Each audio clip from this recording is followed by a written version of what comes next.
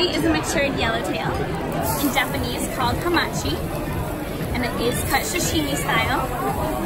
The uh, yellow, matured yellowtail is about three to five years old when it's harvested.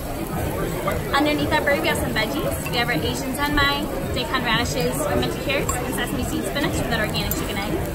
I have a sesame ginger soy sauce. Gonna drizzle that right over the top. It's gonna help me get this mixing. Right. Now this for you just like Iron Chef Morimoto did on Iron Chef Japan for the judges. He competed on the original Iron Chef Japan in the Yellowtail Challenge. He did go on to win. He was inspired by the Korean dish the bibimbap, which uses a beef or a pork um, and a hot sauce. By changing it up to the curry sauce and yellowtail, it does become a Japanese cuisine dish. From his winnings, he was able to go on and compete on Iron Chef America, becoming the internationally renowned known chef that we know today.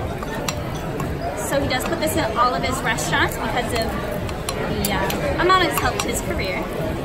All right, now it's pretty well mixed. It's gonna keep frying up and the rice on the bottom is gonna get a little crispy. I'm gonna put the hamachi right back on top.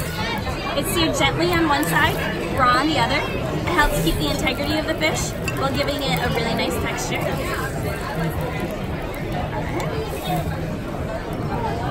That right around. And put the spoons right on the side.